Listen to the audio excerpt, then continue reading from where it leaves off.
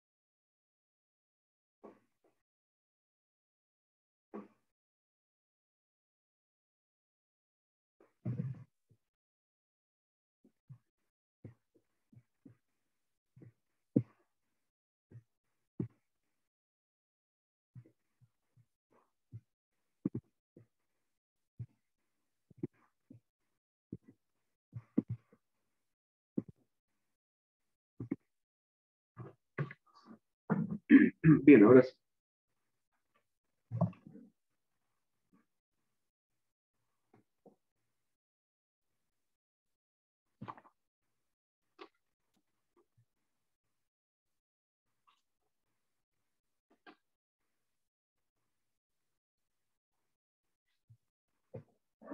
Bien, teníamos entonces este eh, problema donde encontramos el nucleófilo, el electrófilo y generamos el producto y además determinamos si era SN1 o SN2.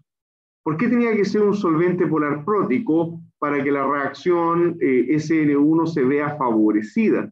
¿Cuál era la razón de ocupar un disolvente polar prótico? Pero antes de, yo les recomiendo que en la prueba tengan mucho cuidado y no se orienten tan rápido por el disolvente, ya porque el, el tema del disolvente no es una cuestión absoluta. O sea, no porque tengamos una SN1 tiene que ser obligatoriamente polar prótico. No es así. Ya, así que el disolvente lo dejan ahí para el final. ¿Ok? El disolvente de preferencia debería ser polar prótico. Bueno, la razón de que sea polar prótico es porque este estabiliza mejor al carbocatión. ¿Ya? Entonces, el carbocatión intermediario se ve mejor estabilizado por efecto del solvente polar prótico.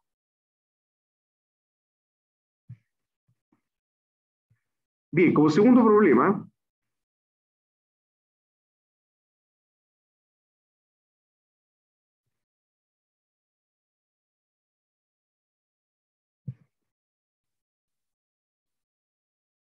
tenemos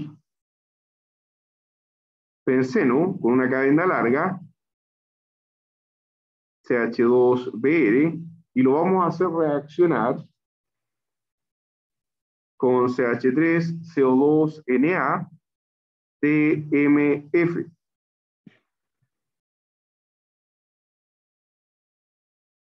¿Qué es DMF? Lo vimos, ¿no es cierto?, en la clase pasada dentro de la lista de disolventes. Pero dijimos que disolvente lo vemos al final, ya preocupémonos de las moléculas en sí. Tenemos por una parte un CH2 bromo, o sea, esto que está acá, es, bueno, si desarrollamos la estructura, el benceno, la cadena larga, pero ahora el benceno está alejado del centro electrofílico. Ahí hay un bromo y este carbono tiene un protón para adelante, un protón para atrás, o sea, es un carbono de tipo primario, ¿ok? Carbono primario, electrófilo, delta más, bromo, delta menos. Por lo tanto, como es primario, por ningún motivo va a generar un carbocatión. Entonces colocamos acá imposible que genere carbocatión.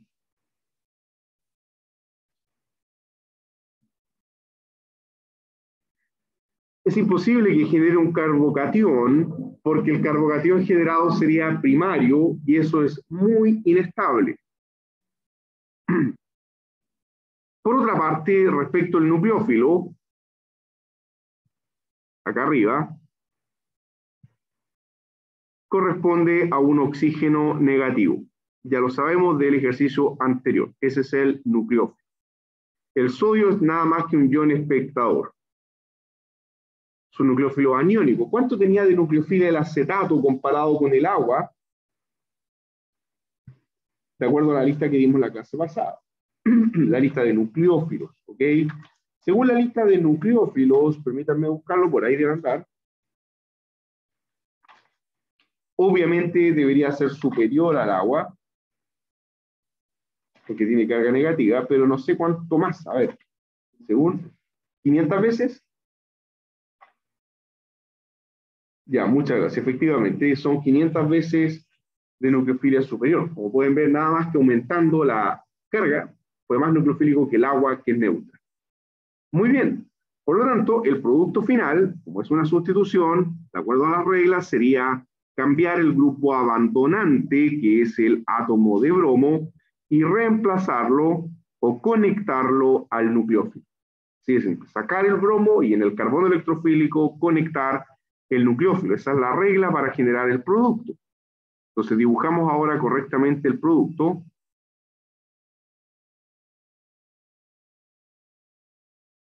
Y vamos a tener, bueno, aquí hagámoslo con otro color para que se pueda ilustrar bien, que va a quedar conectado ahí el oxígeno CH3 y se va a generar como subproducto de reacción bromuro de sodio.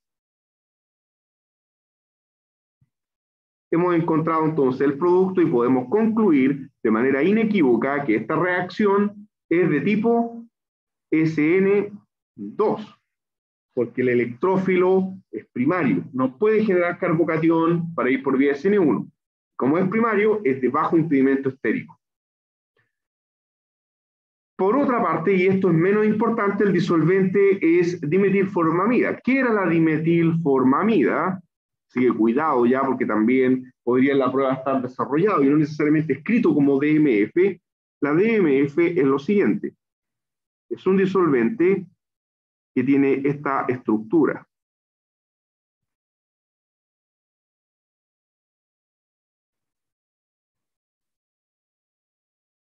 Es un disolvente de alto punto de ebullición, 150 grados Celsius, por lo tanto permite calentar bastante el sistema, ebulle más arriba que el agua, y como podemos ver es una molécula sencilla, es una molécula amida con un protón que no es polar. Mucho cuidado, ese protón que tiene ahí la dimetilformamida es un protón unido a carbono, así que no es OH, no es NH, no es un protón de solvente polar prótico. Por lo tanto, la DMF es un solvente polar aprótico.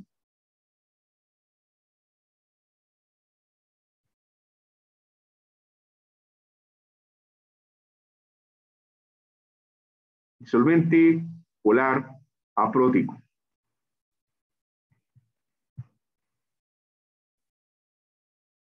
¿Lo ven? Así llegamos al final de este eh,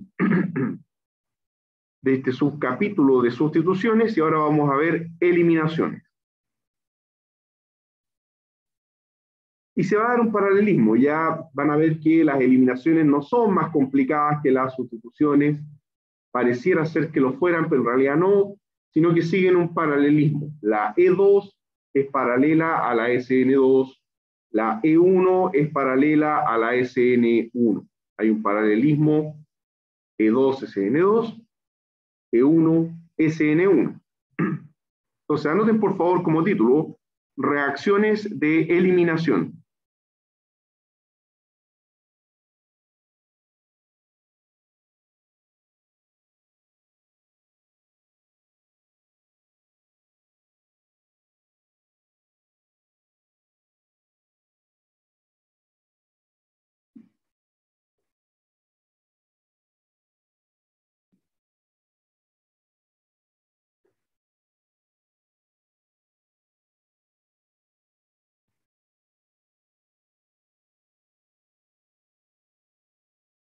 Bien, y observen lo siguiente, vamos a trazar un esquema general donde vamos a tener dos carbonos. O sea, para hacer una eliminación, ahora hay que considerar dos carbonos. Y uno de ellos es el carbono electrofílico,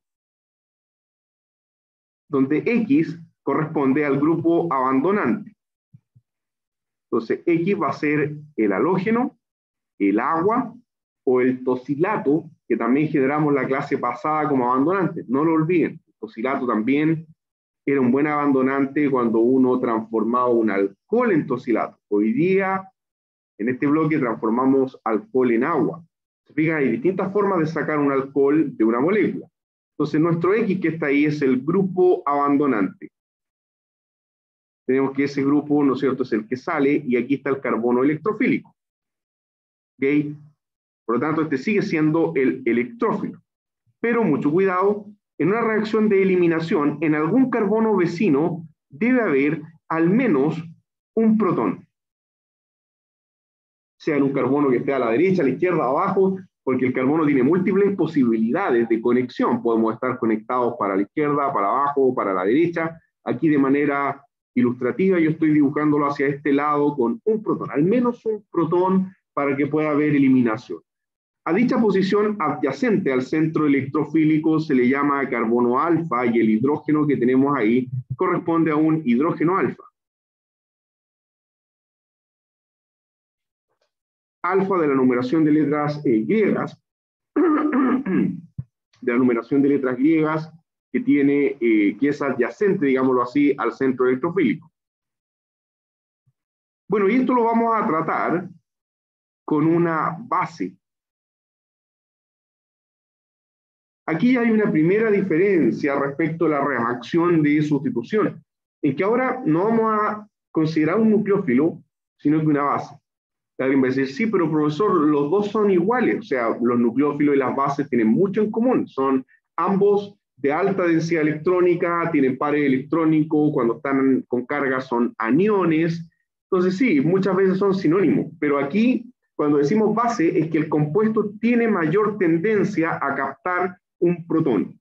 Entonces la base capta el hidrógeno alfa.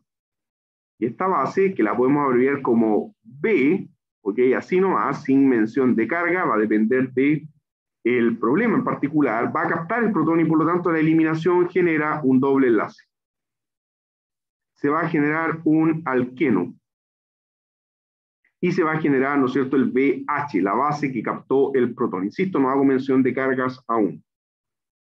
Ahora, por lo general, hay más de un alqueno posible. Ya podemos generar alquenos dentro de un ciclo, para fuera del ciclo, con más hidrógeno, con menos hidrógeno. Por lo general hay más de un alqueno posible cuando uno hace eh, este tipo de reacciones. Ustedes dirán, pero ¿por qué?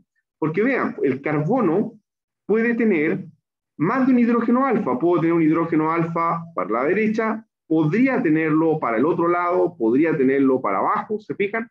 Entonces, por lo general hay más de un alqueno posible. Entonces, el alqueno mayoritario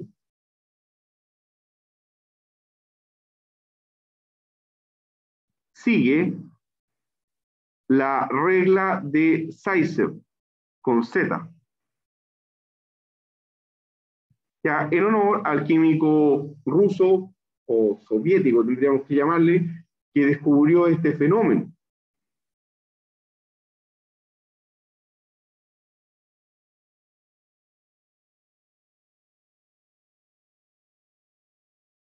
La regla de Zaitsev dice lo siguiente, dice que el alqueno más sustituido, el alqueno más sustituido entre paréntesis, con menos hidrógeno, a eso nos referimos, es el más estable. Y por lo tanto va a ser el alqueno termodinámicamente favorecido, el alqueno en mayor cantidad, el que se tiende a formar más cuando uno está controlando la reacción de manera termodinámica. Qué significa cuando uno le está aplicando energía, está calentando, dándole tiempo para que las cosas funcionen? Que distinto a un control cinético. Química general, recuerden que hay productos cinéticos y productos termodinámicos. Bueno, para efectos prácticos de este curso, el alqueno más estable, el más favorecido, es el alqueno Zaitsev, o sea, el más sustituido con menos hidrógeno dentro de la conectividad. ¿A qué me refiero con esto? Vean el alqueno, yo cuando digo menos hidrógeno, me refiero a menos hidrógenos directamente conectados al doble enlace. ¿ok? A carbono-carbono. No me refiero a hidrógenos que están lejos del doble enlace en un lugar donde no tienen nada que ver, ¿ya? Acá directamente conectado, así que por favor no se vayan a equivocar en la prueba. Ya, y vamos, eh, vamos por orden. A mí me gusta partir, yo no sé, el, libro, el libro tal vez parte por la SN1, eh, eh, perdón, por la E1. Yo voy a, partir por la E2, porque de la misma manera que la SN2 creo que es más simple, más directa, y es paralela a la SN2. Entonces, escribamos ahí como subtítulo, desplazamos, eliminación bimolecular.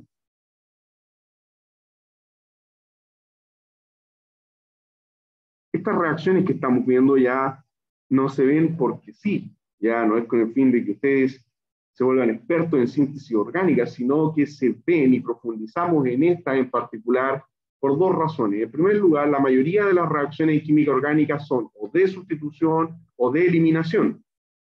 Y en segundo lugar, las reacciones de sustitución y eliminación son muy comunes en la química de las células. A nivel biológico, gran parte de las reacciones bioquímicas son sustituciones y eliminaciones.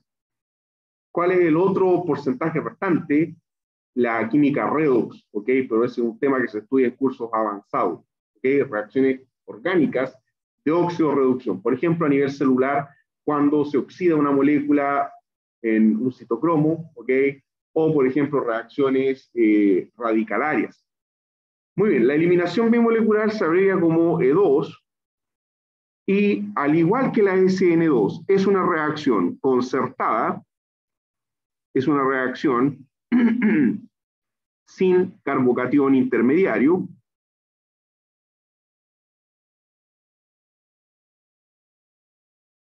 es una reacción favorecida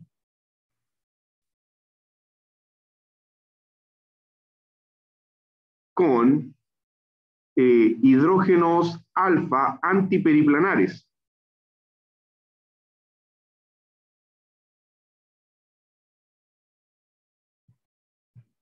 Y ahí hay algo importante que llama la atención. Y es una reacción donde de preferencia deberíamos ocupar disolventes polares apróticos. De preferencia. Recuerden, lo del disolvente, eso lo dejamos para el final porque no es una ley absoluta. Ya, la verdad es que eh, decir esto de hidrógeno alfa antiperiplanar es más complicado que ilustrarlo, así que vamos para allá en un problema concreto. Hagamos reaccionar el mismo cloruro de eh, terbutilo que estábamos estudiando delante, eh, o no, uno, uno, más simple todavía, ya con una base como por ejemplo hidróxido de sodio. Entonces consideremos, por ejemplo, el siguiente problema sería CH guion CH2, CH2 y uno más, me falta acá, C, CH2 bromo, ¿ya? Entonces esto sería bromo butano y lo vamos a hacer reaccionar con hidróxido de sodio. El hidróxido de sodio es una base fuerte. Sí, pero profesor, también es un nucleófilo. Por supuesto, el OH también es un nucleófilo y por lo tanto también podría ser una reacción de sustitución nucleofílica SN2. Sí, puede ocurrir, puede ocurrir en competencia. Y ese es uno de los problemas de estas reacciones que muchas veces generan la mezcla de productos. O sea, muchas veces se genera una mezcla del producto por la vía SN2 y del producto por la vía E2. O al revés, se genera a veces la mezcla del E1 con el SN1. Bien, pero queremos hacer la eliminación, ¿ya? Entonces, vamos para allá. Primero, ¿dónde están los hidrógenos alfa? Y de manera es profeso dibujé esto así para confundirlo, porque estos son los errores de prueba. Adelantémonos para que no les pasen la prueba. Los hidrógenos alfa, ¿dónde están? Entonces aquí tengo un bromo negativo, acá tengo un carbono positivo, carbono 1, carbono 2, carbono 3, carbono 4, ¿ya? La base fuerte, entonces ustedes me van a decir, ¿dónde están los hidrógenos alfa? Ahí numeré eso del 1 al 4, para que ustedes ¿Perdón? A ver, carbono alfa, recuerden que es el centro adyacente al electrofílico. Entonces, si el carbono electrofílico es el 1, el carbono alfa sería el carbono 2, el carbono beta sería el carbono 3, el carbono gamma sería el 4, etc. ¿Ya? Pero está bien. ¿Qué es lo que pasa? aquí? el carbono alfa es el que está al lado del electrofílico, o sea, es el carbono 2. Por lo tanto, de ahí van a salir los hidrógenos, no del carbono 1. Ya, cuidado, yo el 1 lo dibujé así intencionalmente para que ustedes digan, ahí están los hidrógenos. No, tiene que ser en la posición alfa, que es la adyacente al carbono electrofílico. Entonces ahora desarrollamos este asunto, lo vamos a dibujar desarrollado como CH3, ya CH2, y ahora CH, el otro carbono, ¿no es cierto?, que tiene el bromo, HH. ¿Okay? Lo mismo, solamente que lo dibujé de otra manera, 3 y 4, exactamente lo mismo. Y ahora ataca nuestra base. ¿Y de qué manera? Captando un protón. Base negativa, capta un protón. ¿Cuál? Un protón alfa. Y ahí ustedes dirán, ¿cuál? Porque hay dos protones alfa, ¿no es cierto? Aquí hay un alfa para arriba y hay un alfa para abajo. Ya les voy a decir cuál. Voy a desarrollar el mecanismo para que se entienda, ¿ok? Se va a captar el protón antiperiplanar. Entonces voy a escribirlo así. Ok, se capta el protón antiperiplanar y se libera el bromuro. El bromuro es expulsado de la molécula. Entonces aquí voy a colocar captura e2 antiperiplanar. ¿Qué es eso? Bueno, volvamos a dibujarlo aquí al lado. No voy a borrar todavía la imagen para que todos lo puedan ver. Me refiero a lo siguiente. Vamos a trazar la proyección de Newman, nos vamos a colocar acá al frente, y vamos a trazar la proyección de Newman desde el carbono 1 al carbono 2. Vamos a eclipsar eso sabiendo que el carbono 2 tiene todo este fragmento de acá que se llama etil. ¿Ok? Entonces vamos a trazar un Newman para poder eh, comparar el carbono 1 con el 2 y vamos a tener lo siguiente. En el carbono 1 tenemos un bromo, hidrógeno, hidrógeno es el carbono 1. Y en el carbono 2, que, es el carbono que está atrás, tengo hidrógeno, hidrógeno y etil. ¿Lo ven? No era tan terrible dibujarlo, sino que abreviamos el 3 con el 4 como etil, et. ¿Ok? Entonces el carbono 2 tiene hidrógeno, hidrógeno y un etil. El 1 tiene hidrógeno, hidrógeno y un bromo. Lo hemos abreviado desde el punto de vista de Newman, y si ustedes se fijan, en una disposición de 180 grados, tal como lo dibujé ahí, porque recuerden que casi siempre partíamos dibujando la estructura eh, no eclipsada, buscando la estructura más estable. Bueno, esta estructura tiene acá una separación entre bromo y etil de 180 grados, pero esa estructura no nos es favorable para el mecanismo de reacción, sino que, dado que estamos nosotros calentando por efecto de la temperatura, se va a generar una rotación en 60 grados desde el punto de vista del ángulo diedro y vamos a tener que la estructura rotada equivalente al producto, porque solamente estamos rotando un enlace sigma, que sería este enlace sigma que estoy marcando ahí, ese enlace rotable, lo voy a rotar, voy a mover el carbono de atrás para que me quede de la siguiente forma. Y eh, ya, 60 grados no me sirve, porque voy a dejar eclipsado. Eh, vamos a rotar en 120 grados. Así que por favor ahí corrijan, vamos a rotar en 120 grados. Ustedes dirán, bueno, ¿y cómo sabe y por qué? Porque dijimos que tenemos que conseguir una disposición antiperiplanar entre el bromo y un hidrógeno. Por eso vamos a rotar en 120 en este caso. Ya, tenemos bromo, hidrógeno, hidrógeno. Eso no cambia, ese está fijo. Y el 2 lo hemos rotado en 120 grados hacia la derecha. Entonces, al hacer eso, nos va a quedar acá arriba, ¿qué cosa? Ustedes me van a decir, aquí arriba, ahí no estoy marcando con el cursor, con el mouse, ¿qué es lo que va a quedar ahí?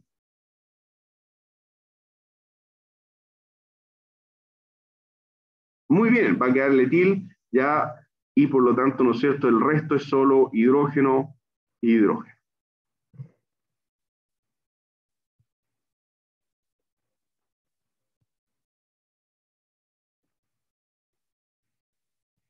Ya las personas que están de manera remota, me disculpan si de repente no, no he escuchado alguna pregunta porque estaba tomando el audio de un parlante del auditorio, ¿ya?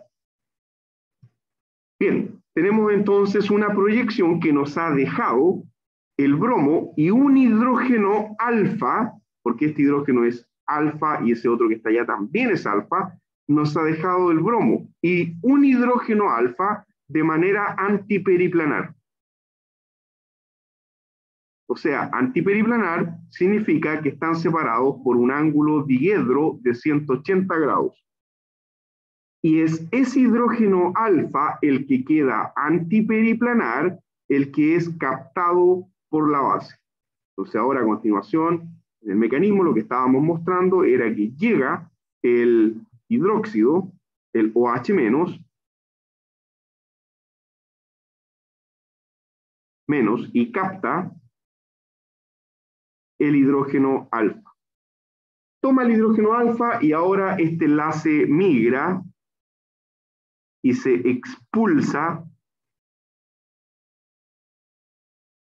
el bromuro. ¿Lo ven? ¿Ven la secuencia? Entonces, tiene que ser captado en una disposición de 180 grados. O sea, es parecido a la SN2, que cuando el nucleófilo atacaba en 180 grados respecto al abandonante. Acá es lo mismo, el protón es captado en 180 grados respecto al abandonante, pero de un carbono adyacente, no del mismo carbono que tiene el bromo. Ojo con eso, ¿ya? Es el, el protón del carbono alfa, por eso le puse protón alfa. Es captado, se forma un alqueno, o sea, conversión de sigma a pi, y expulsión heterolítica del bromuro y eso va a generar entonces el alqueno. Y bueno, si ustedes lo quisieran dibujar ahí eh, en proyección de Newman, porque un alqueno también se puede dibujar en proyección de Newman, lo que ahí se va a generar es un etil, hidrógeno, hidrógeno, hidrógeno. Y ese es el carbono 1 y este es el carbono 2. Y eso es lo mismo que dibujarlo de esta manera, es equivalente, ¿no es cierto?, dibujar nuestro alqueno desarrollado, que tendría el etil para allá y el resto es solo hidrógeno. Hidrógeno, hidrógeno e hidrógeno. Entonces, claro, alguien puede decir, bueno, profesor, pero eh, el etil, ¿para dónde queda? Da lo mismo como lo dibujemos, porque el alqueno es un alqueno con tres sustituyentes iguales. Tiene protones, así que da lo mismo si el etil está aquí abajo, está arriba o a la derecha, ya porque eh, la molécula es la misma. Hemos generado así nuestro alqueno y hemos generado agua como subproducto de reacción. Así que cualquier sistema que nos permite ir captando el agua del medio sería un desplazador del equilibrio químico y favorecería la formación de más producto.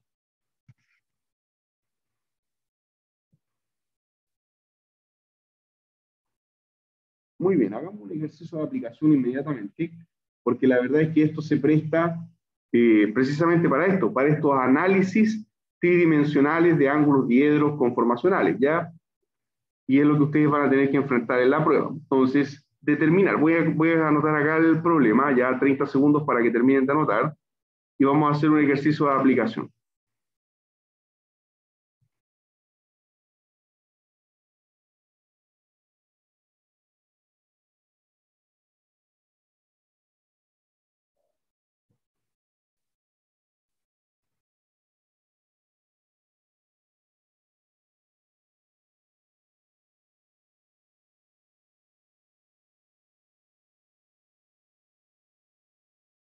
Bien. Vamos a anotar el siguiente ya, eh, a ver, para que nos quede menos armónico, porque aquí hay algo parecido en el texto.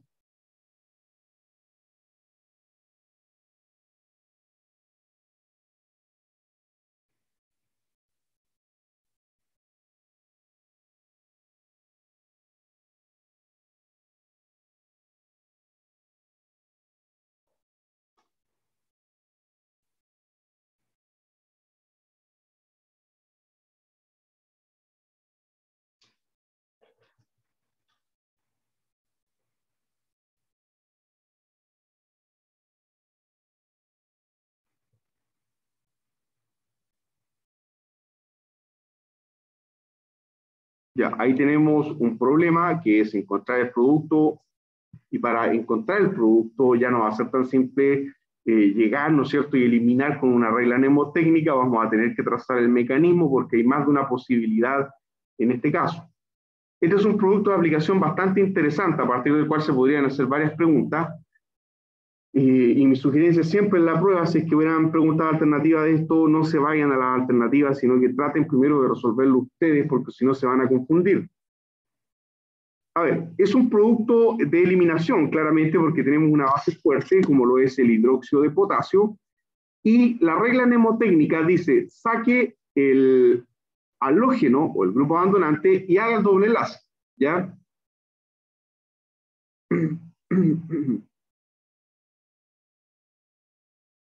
Entonces, la regla mnemotécnica es tan simple como lo que ya ilustramos, sacar el halógeno y colocar el doble enlace, pero aquí hay un problema. A ver, analicemos algunas cosas previamente.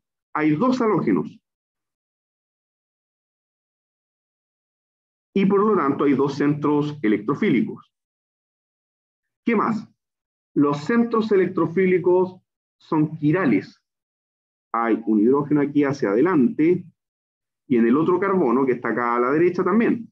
Ya, permítanme eh, trazarlo. A ver, un segundo.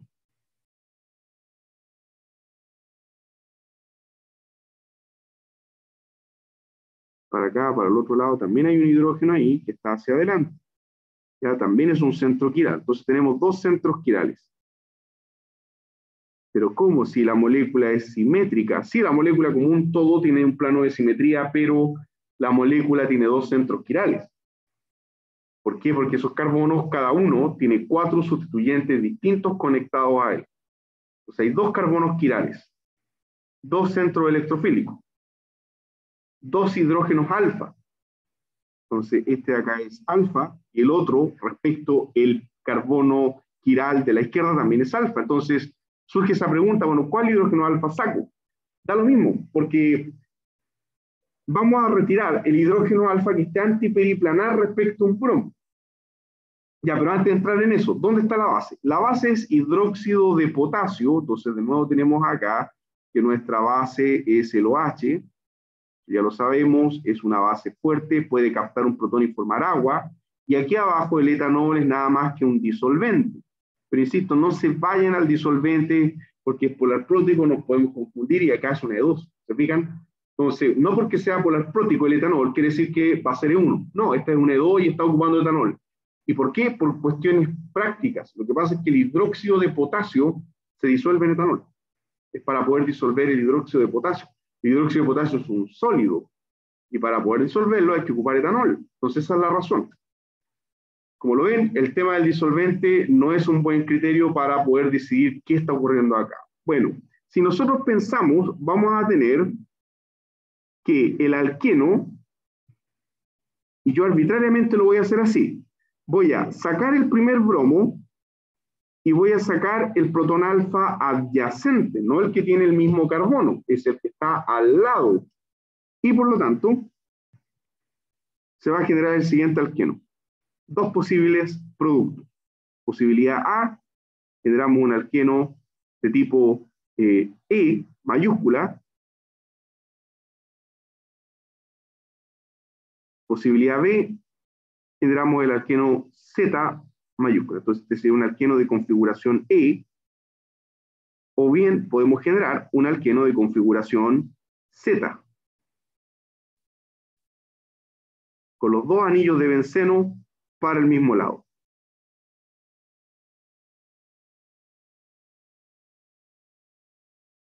Lo que clásicamente, ¿no es cierto?, se ha llamado como cisotrans, pero en términos de alquenos más correcto es decirle alqueno E o alqueno Z. Trans, recuerden que se reserva principalmente para, eh, para ciclos. Cuando una cara, ¿no es cierto?, tiene todo para arriba es cis, cuando tiene los sustituyentes en cara opuesta era trans. Eso es en ciclos, ¿ya? Trans también se ha ocupado hasta en genética, ya cuando se habla de los productos transgénicos y de los productos cisgénicos. ¿Ok? Transgénico, ustedes le toman un gen a una especie distinta y se lo insertan a otra especie, como lo que hacen con el tomate, que sacan un gen de un pez, me parece que del lenguado, y se lo insertan a cierta especie de tomate para que ese tomate soporte las heladas. Un cisgénico sería tomar un gen de un tomate y insertárselo a otro tipo de tomate dentro de la misma especie. Bueno, eh, tenemos acá, perdón, tenemos acá dos posibilidades, entonces el, el, A y el B, y uno es E, el otro es Z, ¿cuál se forma? No se forman los dos, se forma uno. ¿Por qué? Porque esta reacción es una reacción de tipo E2 que va a ocurrir con una eliminación antiperiplanar. Tenemos que el electrófilo es de tipo secundario. Ya, primera observación. Es un electrófilo que por lo tanto no es muy bueno para generar un carbocatión, porque generaría un carbocatión secundario bencílico, que son peores que los terciarios. ¿ya? Por lo tanto, la reacción va por vía E2.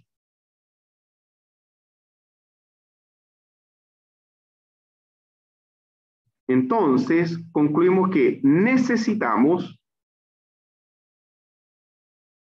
un hidrógeno alfa antiperiplanar. Y para que no nos enredemos con esto, vamos a abreviar el benceno como pH, que significa fenil, una abreviación muy común en los textos de química orgánica. Muy bien, volviendo entonces a esto, tendríamos lo siguiente. Vamos a hacer aquí un alejamiento y vamos a dibujar nuestro carbono de la siguiente forma. A ver, para que nos quede más o menos coherente el dibujo con lo que tenemos ahí, si yo dibujo un caballete de esto, vamos a tratar de dibujar un caballete, ¿ya? Al dibujar un caballete, esta cosa va a quedar así.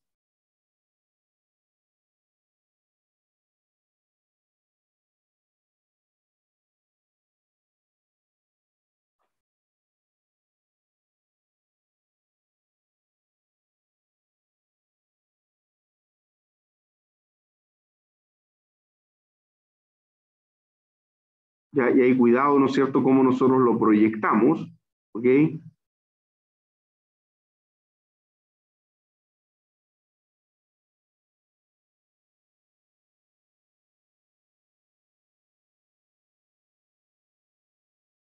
Porque no da lo mismo, ya no da lo mismo cómo ustedes lo estén proyectando.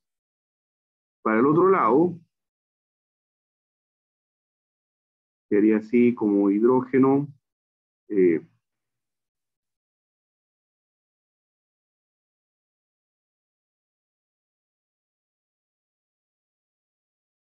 fenil y bromo. Ahí tenemos la proyección de caballete de lo mismo que tenemos ahí inicialmente, ¿ya? Podríamos dibujarlo en ese ángulo o en un ángulo opuesto, ya podríamos verlo en otro ángulo y se vería de esta manera.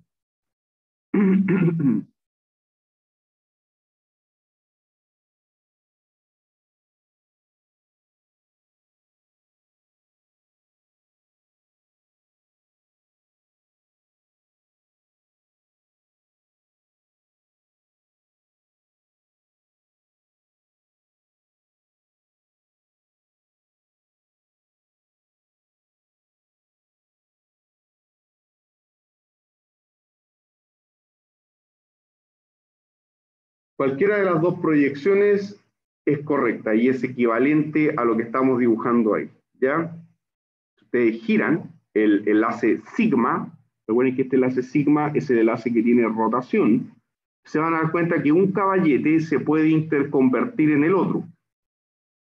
Hacemos una rotación ahí, claramente vamos a ver que esto está interconvertido.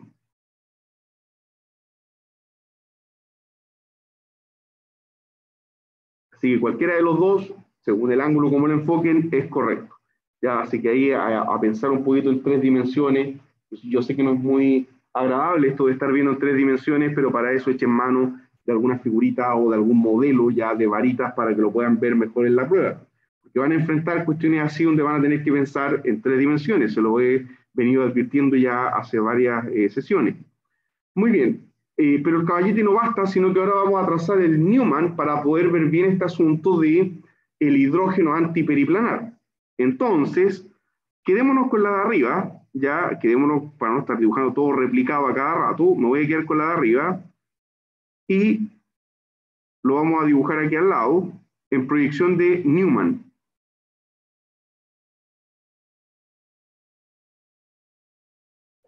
Entonces vamos a verlo desde acá, en proyección de Newman, y le vamos a llamar a este carbono 1, ya que está atrás carbono 2. Carbono 1 y carbono 2. El carbono 1, si ustedes aplican las reglas de quiralidad, el carbono 1 tiene configuración absoluta de tipo S. ahí lo anotamos. También podría ser parte de la prueba determinar si eso es R o S. Y el carbono 2, si hacemos lo mismo de aplicar las reglas, tendríamos que también es de configuración absoluta S. Ustedes hacen el ejercicio ahí en sus casas de poder eh, dibujarlo aparte si quieren para poder determinar si es R o S, pero se los digo, son los dos de configuración absoluta S. Muy bien, ahora trazamos el Newman y tendríamos lo siguiente.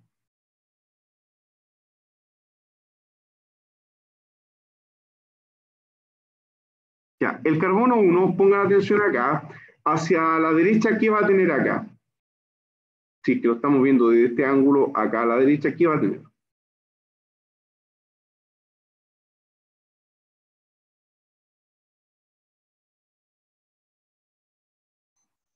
el pH, ¿no es cierto? Si lo estamos viendo de acá, el fenil, el anillo, quedaría ahí. Hacia la izquierda, el hidrógeno y hacia abajo, el bromo. Mientras que el carbono de atrás va a tener para arriba el hidrógeno, que va a tener acá hacia la derecha. Muy bien, el bromo y por lo tanto para el otro lado, el anillo de benceno. Ya, entonces, tal como quedó ahí dibujado, quedó dibujado de buena forma. No tenemos que hacer ninguna rotación. Ustedes dirán, bueno, ¿y por qué? Porque fíjense que el grupo abandonante quedó antiperiplanar con el hidrógeno. Están separados en 180 grados el bromo del carbono 1 con el protón del carbono 2, que es el carbono alfa. Así que no es necesario que estemos rotando el carbono atrás hasta que se nos genere esta disposición que siempre vamos a estar buscando de 180 grados. Salió a la primera, sin necesidad de rotaciones subsecuentes. Y entonces, lo que ocurre ahora es que la base, el OH, capta un protón. escribámoslo, eh, lo voy a escribir yo aquí a la derecha porque me queda más ordenado. Sería OH menos, ahora la línea, ¿no es cierto?, de captura, y aquí mucho cuidado porque se va a formar un alqueno, o sea, este enlace sigma transmuta a pi y este otro sigma se rompe hacia el bromo. 180 grados. La captura en 180 grados. Vamos a tener entonces que se va a formar el siguiente alqueno proyección de Newman, vamos a tener que el protón sale, el bromo sale, y por lo tanto esta cosa se aplana, es como que estaba así y ahora se junta, ¿ya? Acá en el carbono frontal yo tenía un hidrógeno y un fenil. Y en el carbono de atrás teníamos un fenil y un bromo. Entonces, si ustedes se fijan, los anillos de benceno, fenil, quedaron en lados opuestos. Por lo tanto, a la hora de trazar el alqueno, esto sería igual a doble enlace, carbono 1, carbono 2, fenil, hidrógeno, fenil, bromo.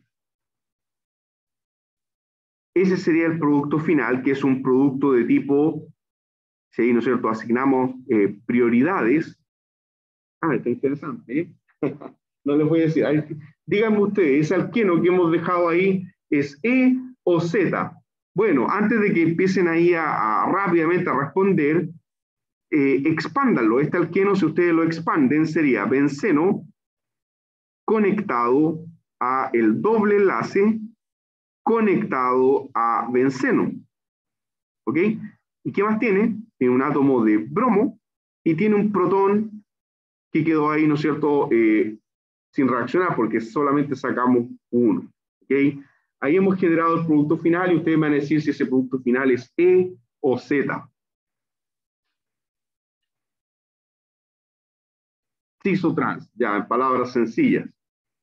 El alqueno. Porque no da lo mismo que los dos bencenos queden para el mismo lado o que los bencenos queden como está acá en cara opuesta. Este alqueno es de tipo Z.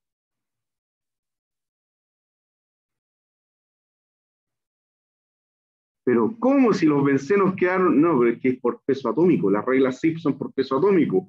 En el carbono 1 tiene mayor peso atómico o prioridad 1 el carbono del anillo y en el carbono 2 tiene mayor prioridad o mayor peso atómico el bromo que el benceno. Así que es un alqueno Z formalmente hablando. Ya, cuidado en la prueba, porque si se pregunta algo así se puede confundir porque uno ve la forma geométrica y tiende a responder, ah, eso es trans, eh, trans era E. No. Bien, miren, eh, cinco minutos de recreo, cinco minutos para que eh, recarguen sus neuronas, no es necesario que salgan del auditorio, pero cinco minutos para proseguir ahora con la reacción E1.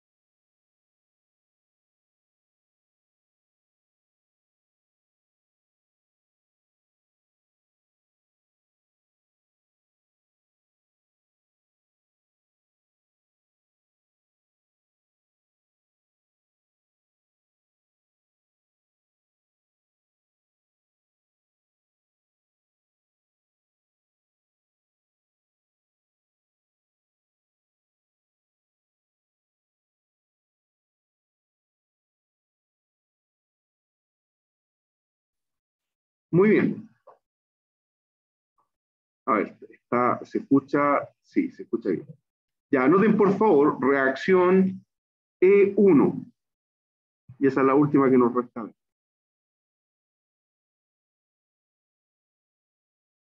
O eliminación unimolecular.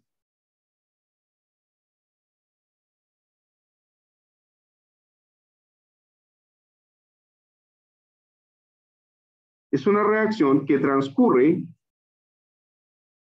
eh, con un carbocatión, genera un carbocatión.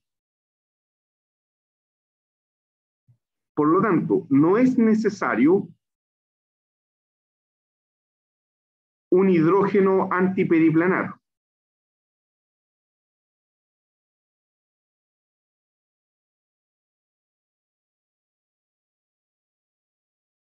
No es necesario un hidrógeno antiperiplanar. Dentro de los disolventes emplea, de preferencia, disolvente polar prótico. Ah, y otra cosa más es que esta reacción E1 tiende a generar mezclas de alquenos.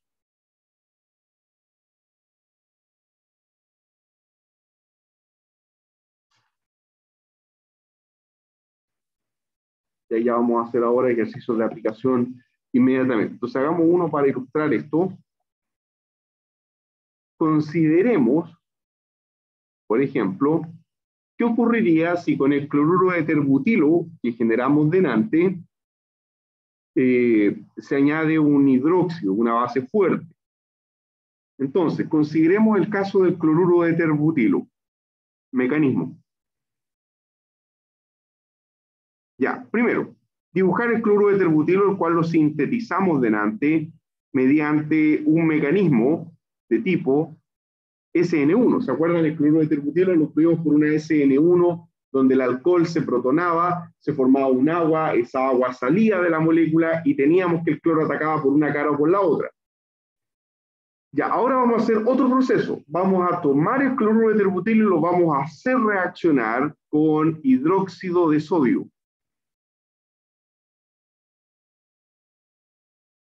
Entonces, alguien podría decir, ah, se va a devolver la reacción, se va a generar un alcohol. ¿Sí? Podría ocurrir. ¿Por qué vía? Por vía SN1, de que se forme un carbocatión y el OH ataque por arriba o por abajo. Pero también puede darse la eliminación. Ya, en la eliminación, la regla mnemotécnica es dibuje el compuesto sin el halógeno y sin el hidrógeno alfa. A ver, aquí quise decir delta más y acá alfa. Entonces vamos a dibujar el compuesto sin el halógeno y sin un hidrógeno alfa. Entonces, si ahí dice CH3, ahora va a ser CH2. ¿Lo ven? Teníamos que era carbono alfa CH3, le sacamos un hidrógeno alfa. Y al carbono electrofílico le sacamos el cloro. Y por lo tanto ahora podemos formar un enlace doble carbono-carbono. Como subproducto de reacción se va a generar agua nuevamente, H2O,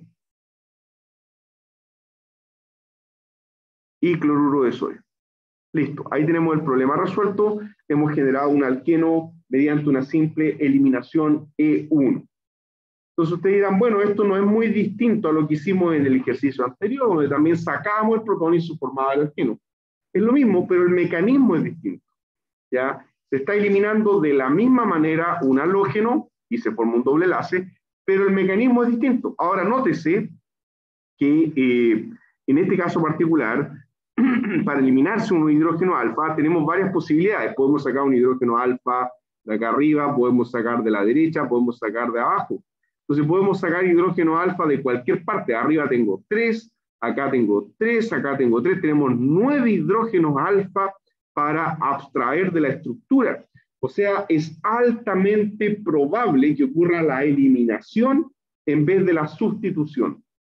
¿Cuál sería el producto de sustitución en este caso? Entonces voy a anotar acá, menos probable, el siguiente. CH3, CH3, CH3, donde ahora en vez de tener cloro vamos a tener OH. El OH sustituye al cloro. ¿Ese producto podría obtenerse? Sí, pero es mucho menos probable porque como estamos rodeados de tanto hidrógeno alfa y como tenemos una base fuerte, la probabilidad que la reacción vaya por vía E1 es mucho más alta. Mayor probabilidad que una base capture un protón alfa.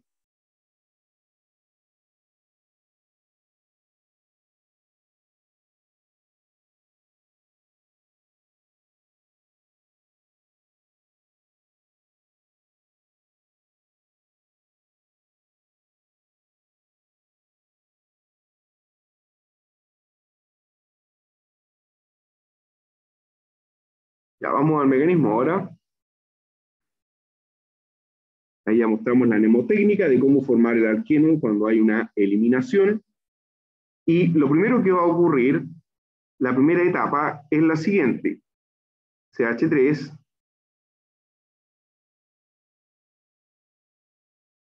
CH3, CH3, carbono, cloro. Esto es un equilibrio favorecido por la temperatura. Resulta que de todos los enlaces que hay ahí, el enlace carbono halógeno es el enlace más débil. El enlace carbono-cloro es más débil que el enlace carbono-carbono. Si hubieran flúor, la situación sería distinta. Carbono-flúor es más fuerte y el flúor no sale. ¿ya? Pero hay un cloro. Carbono-cloro es el enlace más débil de todos los ahí presentes. Por lo tanto, la primera etapa es una ruptura térmica.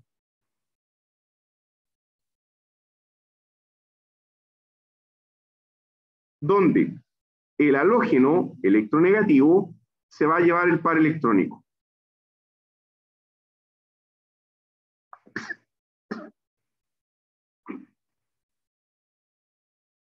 Entonces se lleva el par electrónico y se va a formar un carbocatión.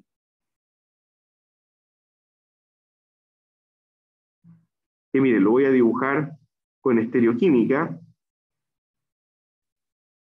CH3, y acá, ¿no es cierto?, tengo que este es un carbono de tipo sp3. Entonces lo voy a dibujar así, hidrógeno, hidrógeno. Entonces tenemos que el carbocatión va a tener un orbital vacío con carga positiva y es un carbocatión sp2 y el de al lado es un carbono sp3.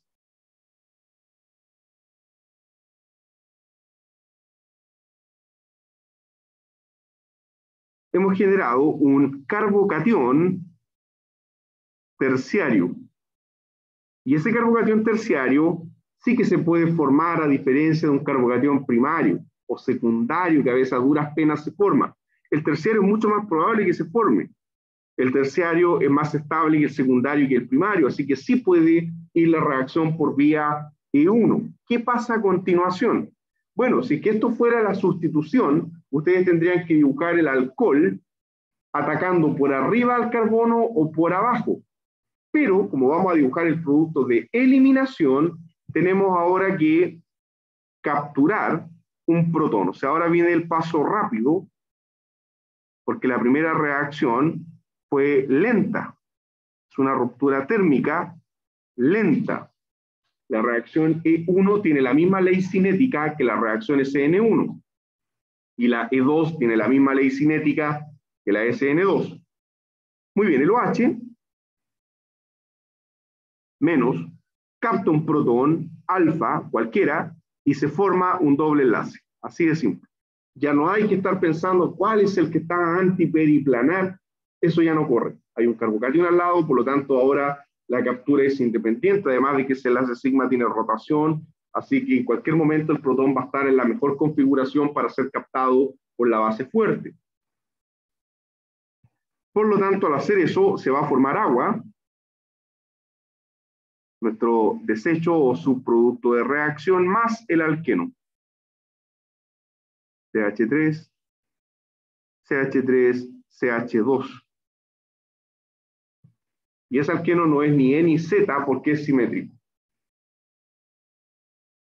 Por lo tanto, tenemos que estamos a partir de un reactante generando un intermediario y ese genera el producto. Con eso ustedes ya pueden trazar el diagrama de energía y la ley cinética que es igual a la velocidad multiplicado, eh, perdón, la velocidad es igual a una constante multiplicada por la concentración de electrófilo. ¿Cuál es el electrófilo? El cloruro de terbutilo.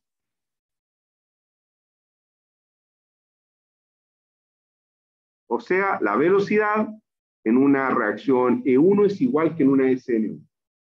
¿Por qué? Porque depende que se forme un carbocatión. Y ahí está completo. Ya con eso hemos visto todas las reacciones necesarias para una apropiada comprensión de las reacciones eh, bioquímicas de una célula, como van a ver también ya más en detalle también el próximo semestre en el curso de bioquímica, cuando vean catálisis enzimática, por ejemplo, ahí se van a dar cuenta que estos procesos van a estar ocurriendo, pero ¿dónde? En el sitio activo de una enzima, o sea, dentro de una célula se van a repetir de manera ordenada y secuenciada y la diferencia es que en una enzima está todo junto en la cavidad. Está el nucleófilo, está el electrófilo y va ocurriendo todo de manera ordenada y secuencial. Aquí yo tengo que estas son moléculas eh, separadas, ya, ¿no es cierto?, mezcladas en un ambiente artificial, en un balón de reacción para dar el producto final. Bien, hagamos ejercicios de aplicación, con esto ya las vimos todas.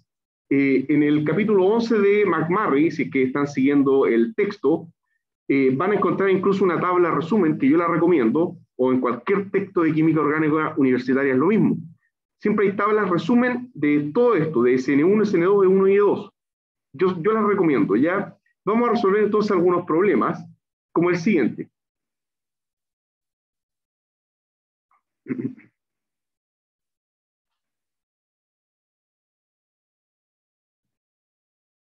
Entonces, lo que queda ya, que ya no es mucho, problemas.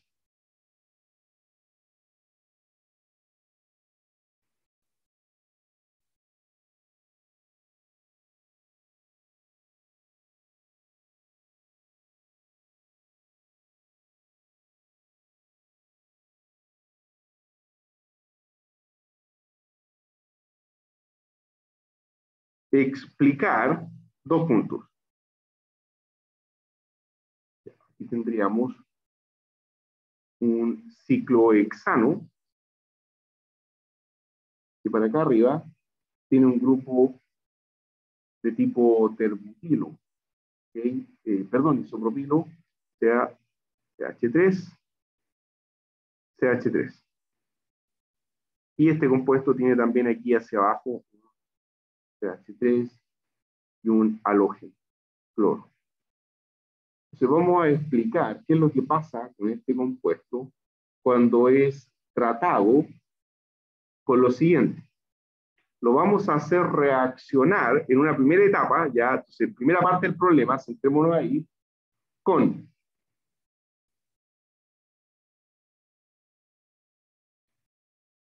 etóxido de sodio. Ya, y el, libro ahí contiene un error, ya estoy tratando de hacer algunos problemas que no tienen respuesta en el solucionario por si acaso. Ya, si encuentran este mismo problema y no está resuelto, pero también tiene un error en la reacción de eh, los compuestos con los que reacciona este ciclo externo, es etóxido de sodio, o sea, CH3, CH2, oxígeno Na. CH3, CH2, OH, eso es etanol. Entonces, vamos a tener que encontrar cuál es el producto y en base a las condiciones de, reacción que se están dando acá, eh, determinar, determinar si esto es E1 o E2. ¿ya? Entonces vamos a tener que explicar eso. ¿Cuál es la vía favorecida? ¿E1 o E2? Eliminación unimolecular o bimolecular en base a lo que estábamos viendo recién. Ya, miren, yo les sugiero que cuando enfrenten este tipo de problemas, siempre primero traten de hacerlo en 2D y de ahí hacemos el análisis 3D. Desde el punto de vista de la reactividad, el ciclo hexeno es un electrófilo. Eso no debería ser complicación para ustedes ya darse cuenta porque acá está el halógeno o abandonante ¿ya? Y si no hay un halógeno, puede que se forme un agua o puede que se forme un tosilo cuando era un alcohol. Vimos que eso eran los abandonantes principales. Ya. El halógeno está ahí, por lo tanto el carbono electrofílico es este de acá. Ninguno más. El resto, pantalla. Entonces, si fijan, por muy complicada que sea la molécula, porque esta no es una molécula trivial, es un ciclohexano polisustituido, el centro reactivo es ese carbono y no otro. Este sería nuestro electrófilo. Voy a colocar E más para no confundirlo con E1 o E2. ¿ya? Es el electrófilo. Y por otra parte, la sal, en este caso el etóxido, es el nucleófilo o la base, según, ¿no es cierto?, la reacción que tengamos. Como es una eliminación, es la base. Desarrollémoslo. CH3, CH2, oxígeno, anión, conectado a un sodio espectador cation. Por lo tanto, es una base fuerte. ¿Cómo podemos saber eso? Yo les di una lista a tiempo atrás de ácidos y bases y los alcóxidos estaban dentro de las bases fuertes. Esa lista no contiene todas las bases y ácidos que existen, pero sí los que vamos a ocupar en este curso. Así que vayan tratando de tener fresca esa materia y repasarlo. Mientras que el etanol no es más que el disolvente polar prótico.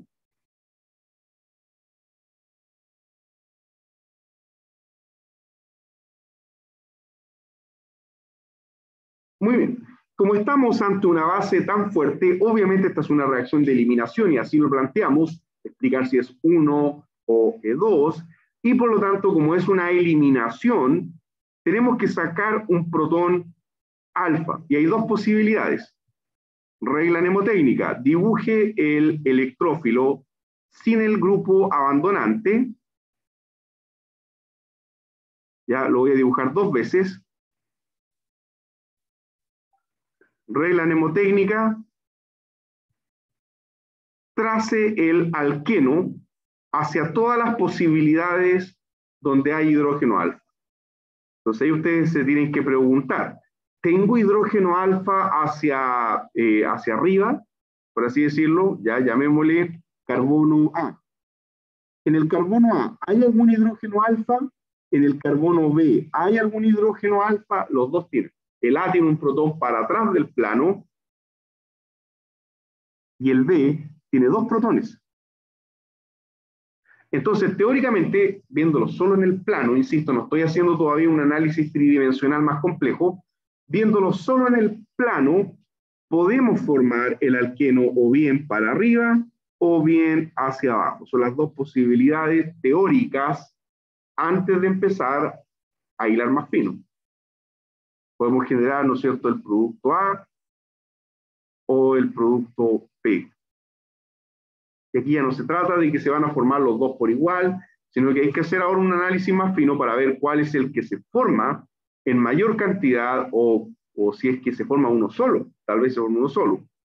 Bueno, lo primero, como el electrófilo es de tipo carbono secundario, carbono secundario, es altamente improbable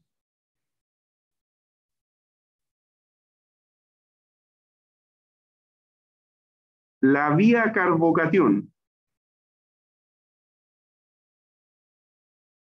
¿Por qué? Porque un carbocatión secundario es inestable. Si las, las E1, las SN1 van por lo general con una vía de tipo carbocatión terciario. O a los sumos secundarios, cuando tienen resonancia, por ahí podría también ir, ¿ya? Pero secundario así a seca o primario, mucho menos ya las vías de carbocationes tienen que tener un carbocatión terciario o un carbocatión secundario, pero que tenga algún tipo de resonancia, que no es este el caso. Así que concluimos de que la reacción, ya por lo tanto, es de tipo E2. Ya, eso es lo primero. Concluimos que la reacción es de tipo E2. Y si es de tipo E2, el requisito principal la reacción S2, entonces se debe eliminar un hidrógeno alfa, pero de tipo antiperiplanar. Si fuera E1, nos da igual. sea, la 1 es más simple. Podemos eliminar cualquier hidrógeno. Habiendo hidrógeno, se elimina. Pero cuando ese 2 tiene que ser antiperiplanar. Entonces ahí ya tenemos un problemita porque ahora la pregunta es, ¿dónde está el protón antiperiplanar? ¿En A o en B? ¿O en ambos? Para resolver ese problema, vamos a tener que dibujar el ciclo hexano en conformación de silla. Por lo tanto, permítanme, eh, voy a mantener ahí el, el enfoque de eso y vamos a dibujar ahora la silla para poder determinar si es que se forman ambos o uno solo. Vamos a trazar la silla arbitrariamente de esta manera, ya, pero mucho cuidado con la numeración, por favor. Yo voy a numerar de esta manera, miren. A ver, lo primero, vamos a numerar y, a ver, hay mucho ahí, nos vamos a enredar. Déjenme mejor copiar todo esto. No es necesario que ustedes lo hagan. Yo solamente quiero, para dibujarlo más ordenado, aquí abajo lo voy a volver a pegar ¿ya? Y nos va a quedar de la siguiente forma. Borremos eso para que no nos enredemos, borremos acá también.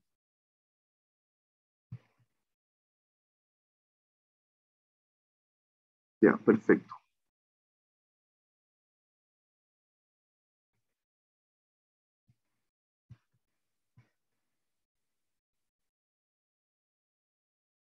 Carbono eh, ya, bueno, siendo bien purista, ¿no es cierto? Sería carbono 1, carbono 2, carbono 3, carbono 4, carbono 5 y carbono 6. Entonces, los hidrógenos, borremos eso de A y B. Los hidrógenos alfa están en el carbono 2 y en el 6. ¿Por qué puse el 1 en el cloro? Porque el cloro tiene mayor peso atómico, así que ese es el punto de numeración donde hay mayor prioridad por peso atómico, en este caso el cloro. Dos, porque de ahí hay un isopropil en vez de un metil como lo hay en 5, ¿ya? Y además que nos da la menor numeración para todos los sustituyentes. Si numeramos para el otro lado, tenemos una numeración mayor. Aquí me quedaron en 2 y 5. Si ustedes numeran al revés, les quedaría en 3 y 6. Quedaría con una numeración mayor. Bien, eh, dibujamos el ciclo hexano e insisto, eh, vamos a dibujar un ciclo hexano sin nada primero sea de la siguiente forma. Vamos a dibujar un ciclo hexano sin absolutamente nada. La silla sin nada todavía. Y no olvidar que los ciclohexanos tienen el flip térmico, o sea, puede la silla estar para el otro lado. ¿Cuál dibujo? Hay que dibujar los dos. Estamos obligados porque en un conformero o en el otro conformero puede estar la respuesta al problema. Entonces, para el otro lado dibujamos la silla, ¿no es cierto?, invertida, que se quiebra, lo que está arriba eh, baja y lo que está abajo sube, se quiebra, ¿no es cierto?, se tuerce la silla y por lo tanto nos va a quedar así.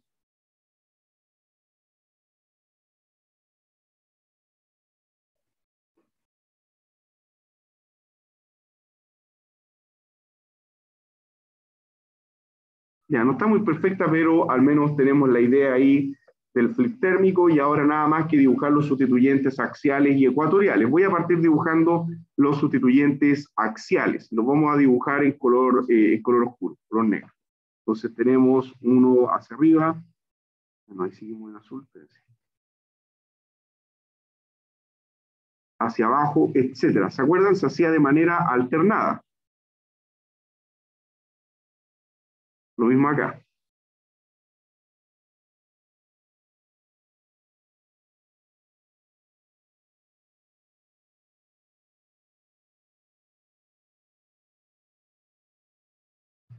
Ahora voy a dibujar en color verde oscuro los sustituyentes ecuatoriales, también alternados, hacia arriba, hacia abajo, hacia arriba, hacia abajo, etcétera.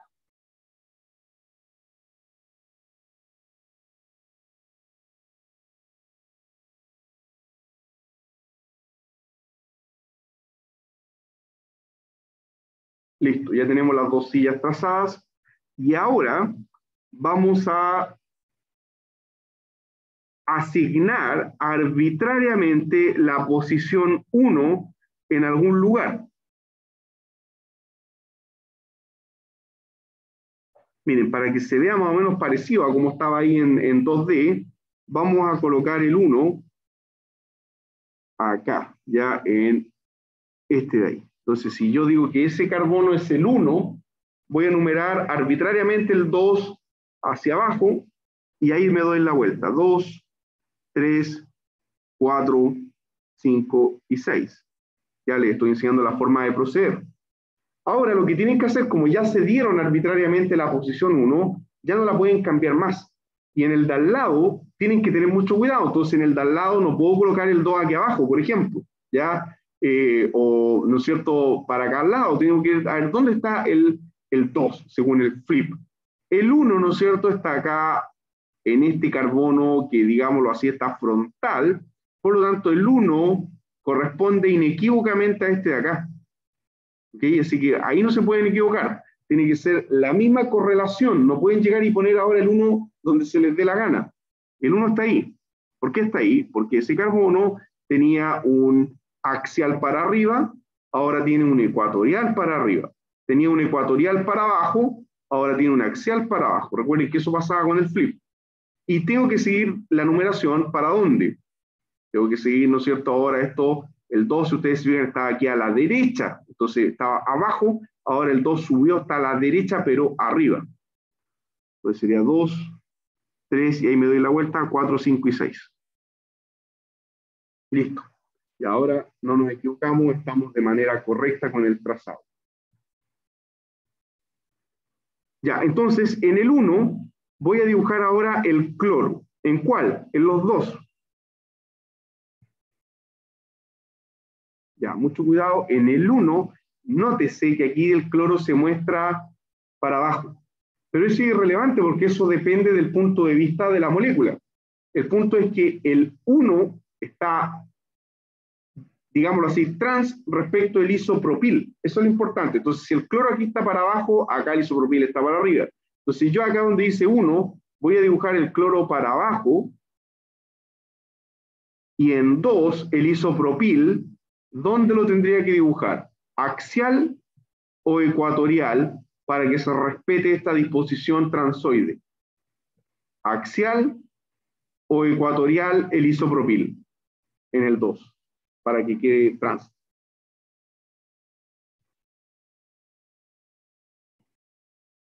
Tienen que estar en caras opuestas, por lo tanto, ya si el cloro aquí va para abajo, el isopropil aquí tiene que ir para arriba. Entonces tenemos que dibujarlo ahí. Y lo, voy a ver como IPR, ya que significa isopropil. Para que no se nos enrede tanto el dibujo, es una buena abreviatura. Y ahora ustedes tienen que pensar, ¿qué más falta? En el carbono 5, el metil está para la misma cara que el cloro.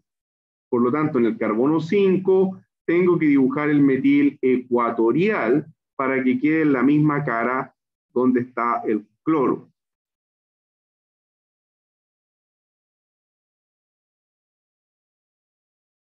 Ok, entonces tenemos que, hemos correctamente dibujado el grupo abandonante, cloro.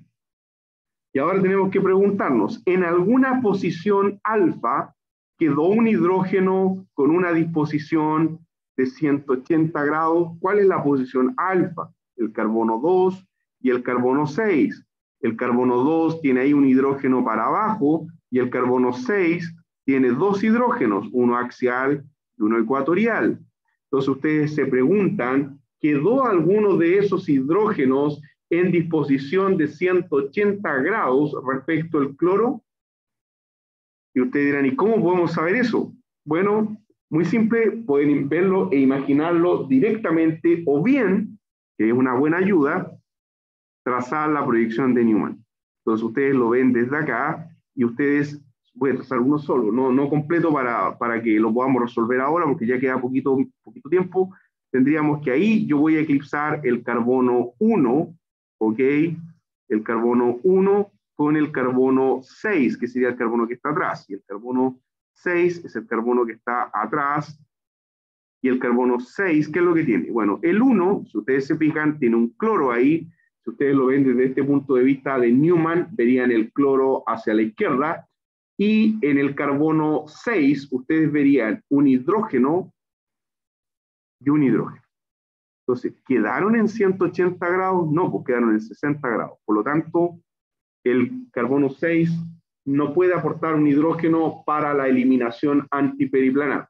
¿Y qué pasa si alguien dice, bueno, pero yo quiero ahora eclipsar desde el otro punto de vista, quiero eclipsar el 1 con el 2? O sea, podemos verlo desde acá. ¿ok? Alguien dice, yo voy a ver, voy a eclipsar el carbono 1 con el carbono 2. Bueno, si ustedes hacen eso, hagamos el enfoque ahí, va a quedar de esta manera. Entonces acá eclipsamos 1,6, ahora vamos a eclipsar 1,2 y fíjense lo que va a ocurrir.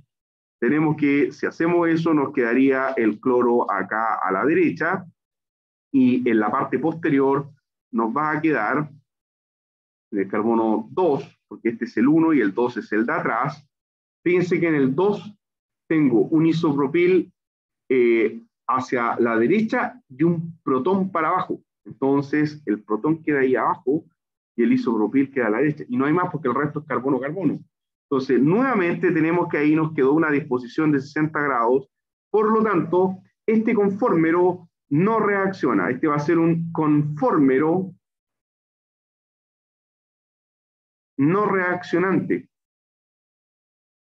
ese conformero es imposible que experimente la sustracción de un protón por la base. No puede. ¿Por qué? Porque en ninguna de las posiciones 2 y 6, que son las alfa, en ninguna quedó un hidrógeno antiperiplanar. Y el de al lado, tenemos que verlo, ¿ya? Y en el de al lado, ahí rapidito ya para, para culminar esto, en el tendría nosotros el carbono 1, que eh, fruto del flip, el cloro está ahí, ojo con eso.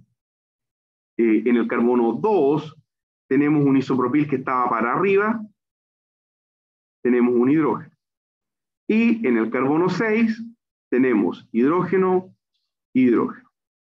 Y ahí sí, yo les dejo a ustedes como tarea que hagan la proyección de Newman 1,6 y 1,2 de este conformero, pero observen esto, le va a dar que en 1,6 están anti periplanar. Por lo tanto, nuestra base, CH3, CH2 o menos, puede tomar ese protón y ningún otro, formarse el alqueno y expulsarse el cloro. Y por lo tanto, el único producto posible, si ahí nosotros lo dibujamos ahora forma plana, sería el alqueno entre 1 y 6.